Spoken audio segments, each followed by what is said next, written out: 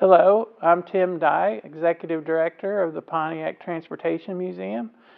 Today we're at the Pontiac Creative Arts Center, originally known as the Stout Memorial Library in Pontiac, Michigan. And we're going to take a look at some sketches and illustrations done by Pontiac designers of the cars that we all know and love and collect today. Pontiac designer John Perkins did this illustration on October 3rd, 1967 for the 1970 GTO. What's interesting about it is this was a shot at putting Endura on the rear of the car. You'll notice here how it's shown around the taillights.